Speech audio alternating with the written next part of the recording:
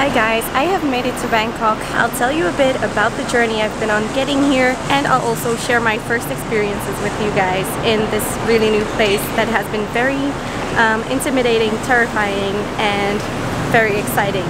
First, I went to Amsterdam airport by train from Belgium. I flew with EVA Air. I had never heard of it and was skeptical about this Taiwanese airline. But aside from the delays that caused us to have dinner at 2 a.m., it was really alright. We even had metal cutlery. I easily got a visa on arrival for 45 days instead of 30 days. This is only temporary and I also didn't need proof of vaccination or a PCR test. I highly recommend you to visit Thailand now as the rainy season ends. And I have just been on the plane for a really long time then past migrations which went quite smoothly because there were a lot of migration desks. And then getting a SIM card I needed cash and two ATMs didn't work. And then finally the third did um, and I managed to get a SIM card as well even though I'll only be here for a few days before I continue my trip into Cambodia uh, still I wanted some data to at least be able to sustain myself uh, in a new place that I've never been before. At the airport they told me I could take a bus to my hostel for only 60 baht.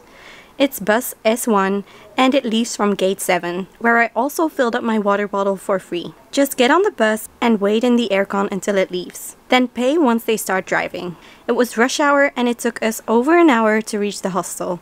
I stayed at Bed Station Hostel, which had a pool and a bar, which made it really easy to socialize and explore the infamous Khao San Road nearby.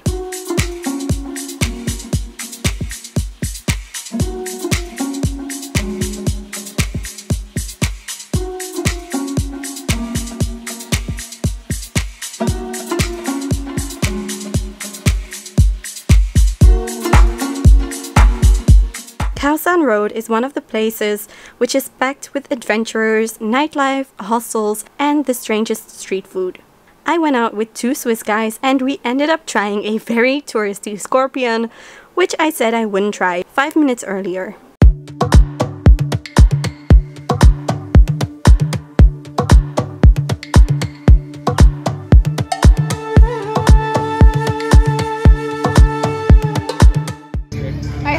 Scorpion. I didn't think I would. Ugh. I'm still...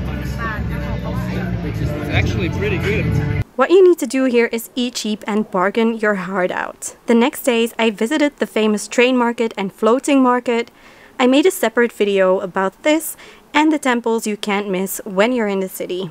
Me and a friend then came across something very unique. As you can see there is a lot going on behind me and that is because the queen will arrive in 15 minutes so we've decided to wait here for a bit and check it out. We all sat down on these mats in the streets to wait for Her Majesty the Queen. There was lots of people and even an orchestra waiting for her.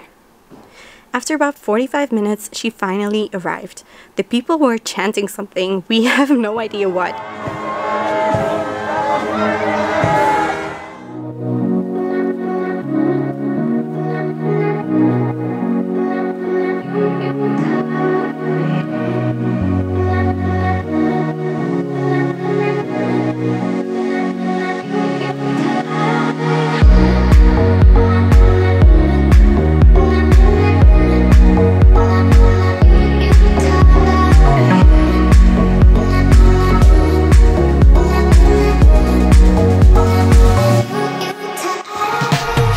We couldn't see much of her, but it was super interesting to experience the whole procedure. My first impression of Bangkok was really really great. I expected the buildings to be higher and the traffic to be even crazier. You can reach everything on foot easily and there are barely any other people in the streets.